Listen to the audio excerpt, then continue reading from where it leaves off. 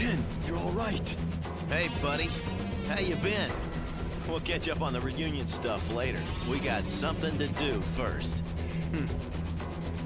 Like taking out the trash. Yeah! You both seem bound and determined to meet destruction at my hands. So be it. I'll fight you on your own level! Come on!